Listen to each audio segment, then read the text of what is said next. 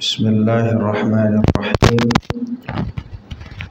السلام عليكم ورحمة الله وبركاته.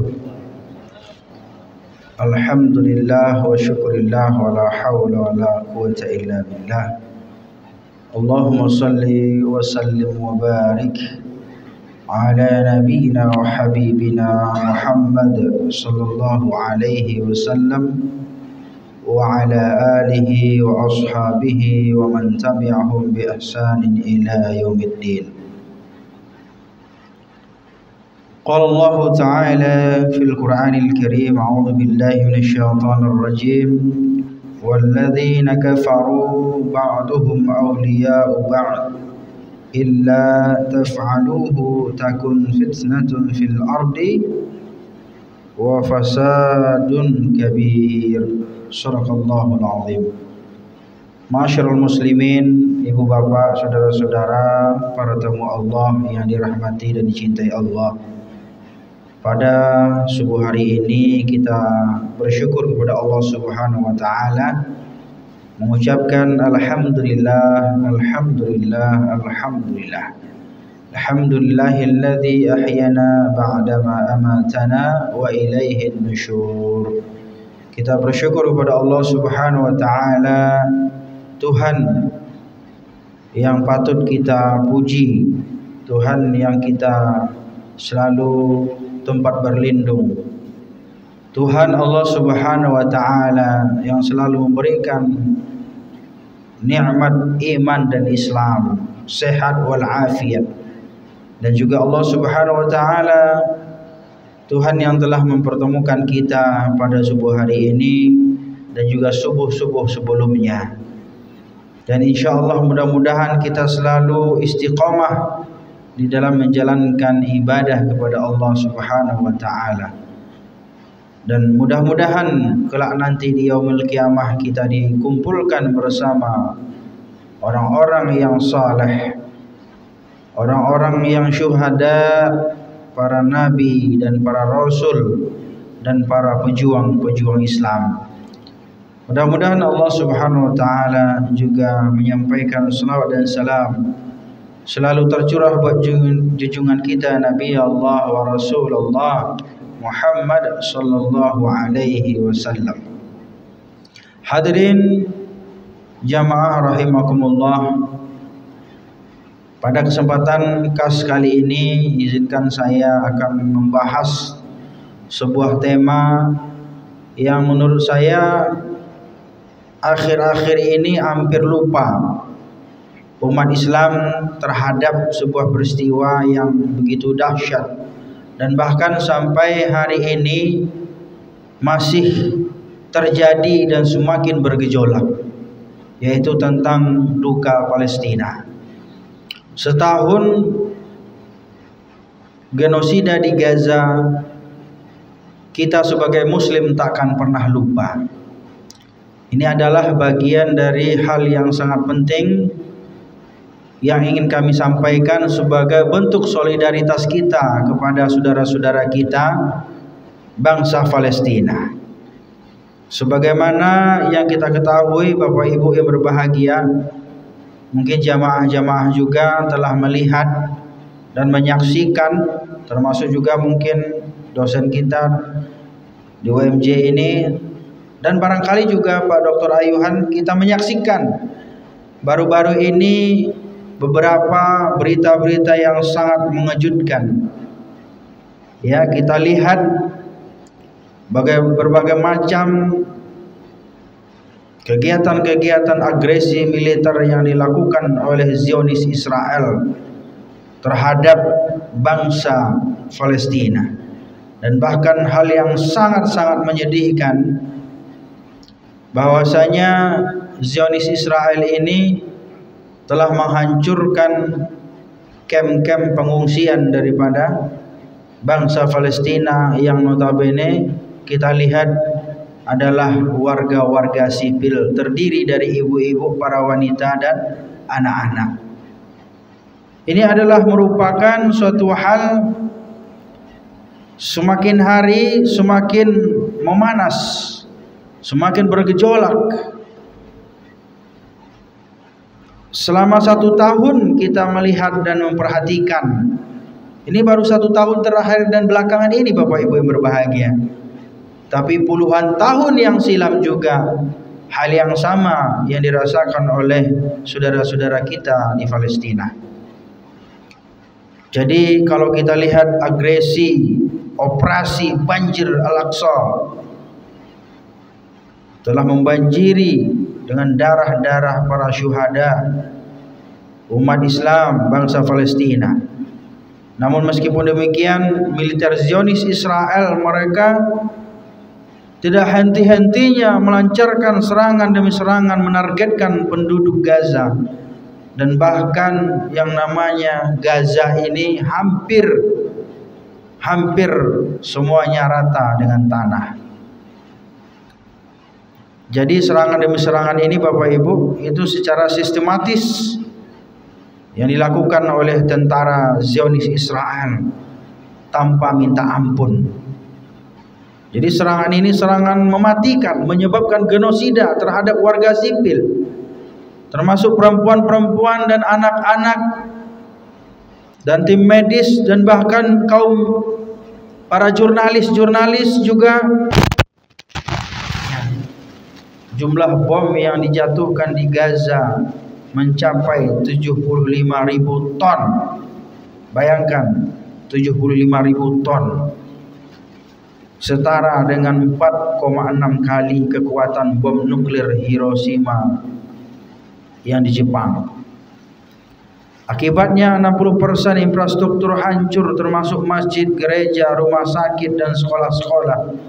Bahkan jumlah korban hampir menembus 150 ribu jiwa. Dengan 69% di antaranya adalah kaum wanita dan anak-anak.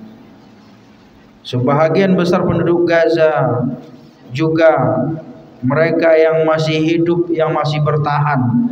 Mereka terpaksa mengungsi di tenda-tenda dan mereka itu tidak mendapatkan sandang pangan, obat-obatan akibat blokade dari Zionis Israel. Bayangkan hadir berbahagia, suasana dan kondisi yang sangat mencekam apalagi dikabarkan akan masuknya musim dingin. Bagaimana kondisi dan keadaan mereka saudara-saudara? Ini merupakan perbuatan yang sangat kejam. Perbuatan yang sangat sadis yang dilakukan oleh tentara-tentara Zionis Yahudi. Israel laknatullah terhadap saudara-saudara kita bangsa Palestina, terutama khususnya di Gaza.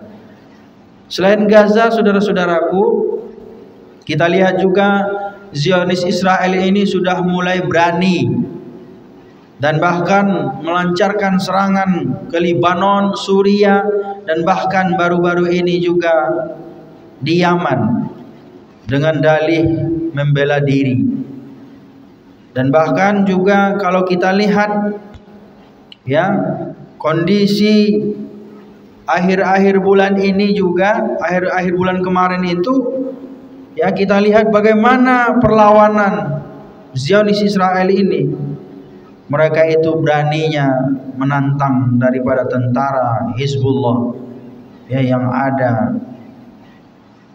Ya Hizbullah itu adalah sebuah tentara yang ada di Lebanon itu.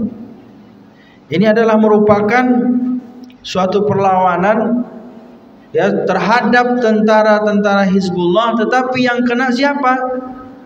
rakyat-rakyat sipil saudara-saudara berbahagia. Kaum wanita dan anak-anak berjatuhan korban. Dan ini menandakan bahwa semakin buruknya situasi kemanusiaan yang ada di daerah Jazirah Arab. Maka ada yang berbahagia kalau kita lihat lagi data lebih dari 70% penduduk Gaza mengalami kelaparan.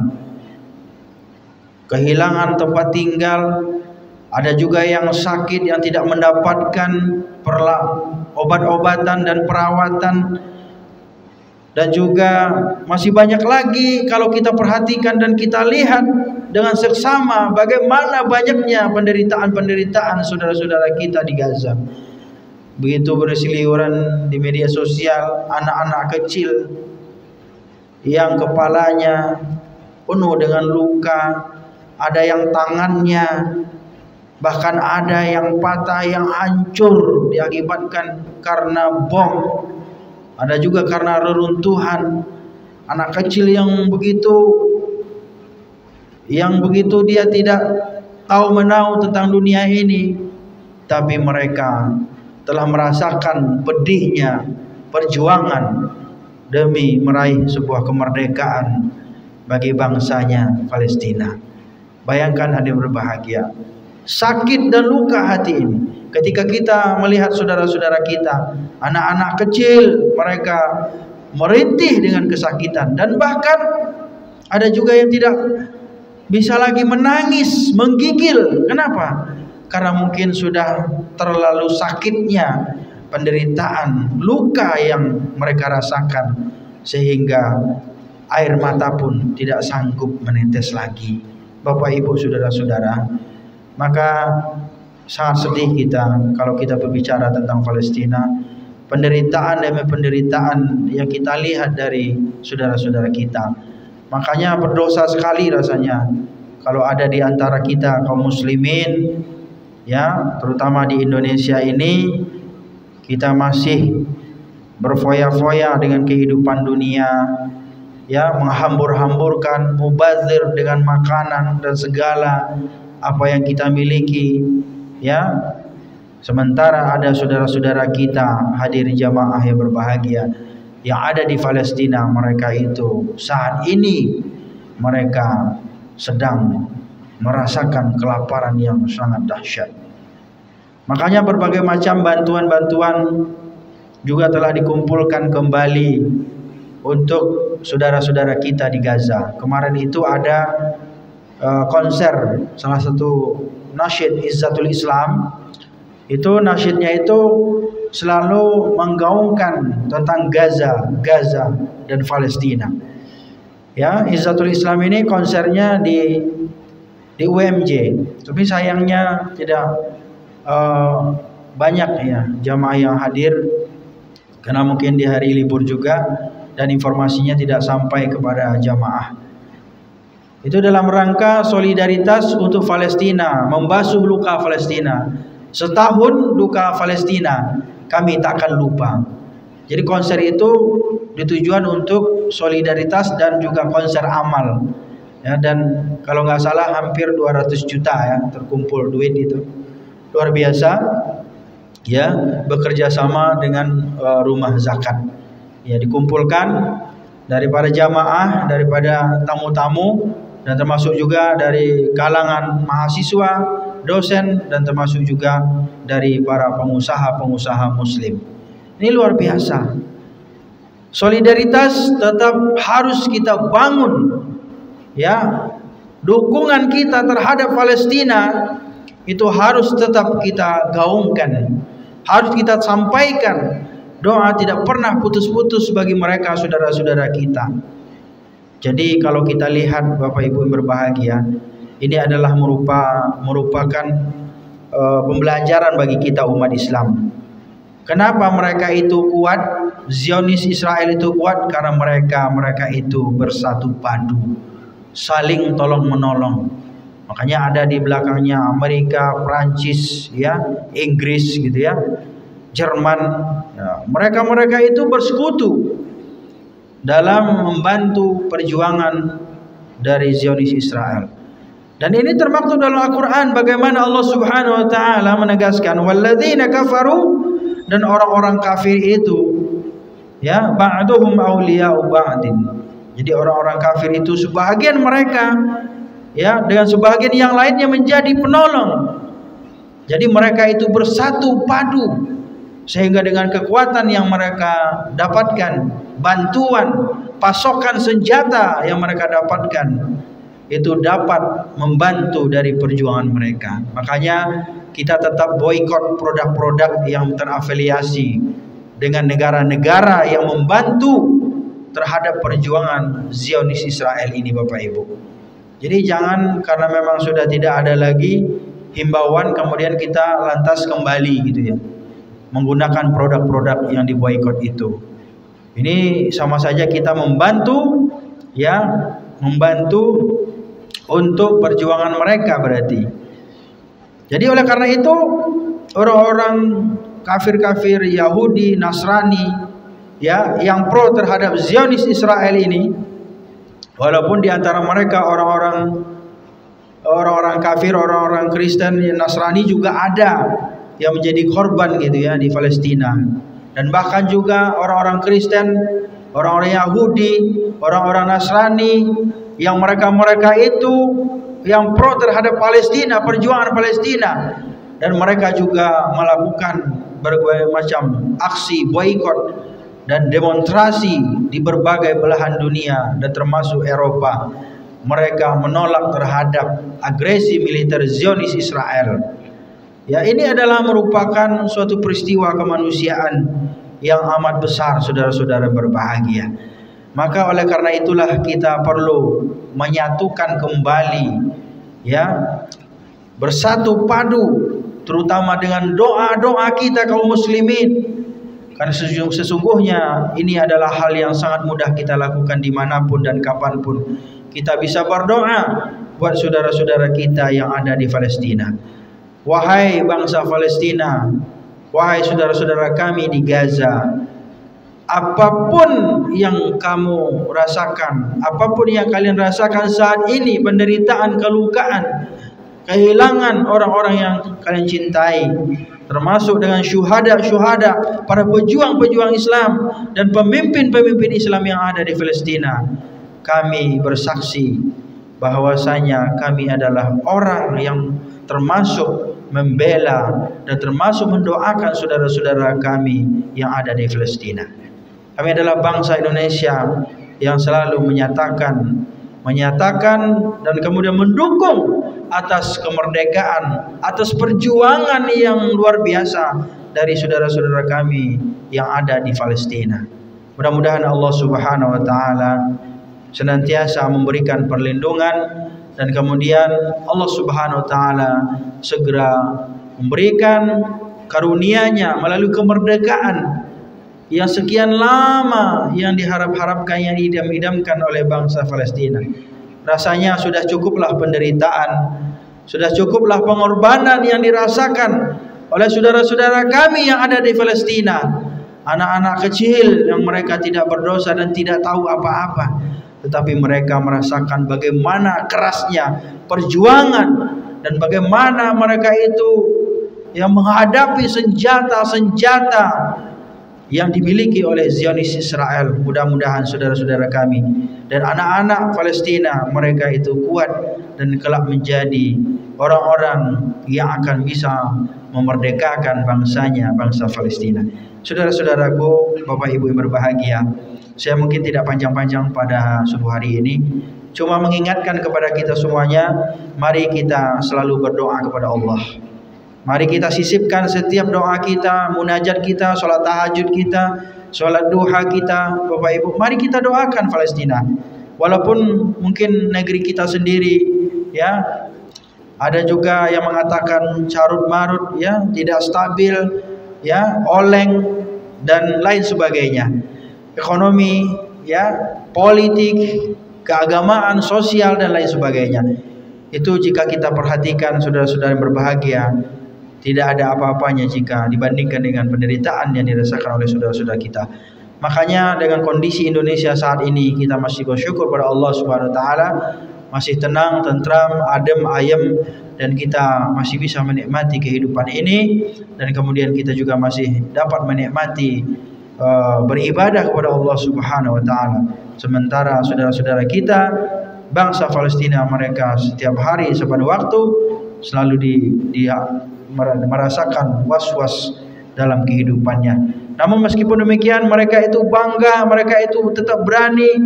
Kenapa? Karena Allah Subhanahu wa taala telah menjanjikan bagi mereka yang syuhada yaitu adalah surga bagi mereka.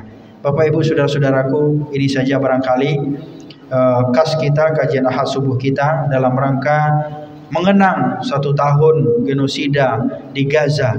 Kita takkan pernah lupa bangsa Indonesia selalu selalu mendukung atas kemerdekaan daripada bangsa Palestina. Melalui Kementerian Luar Negeri juga Indonesia telah menyatakan bahwasanya menolak atas genosida.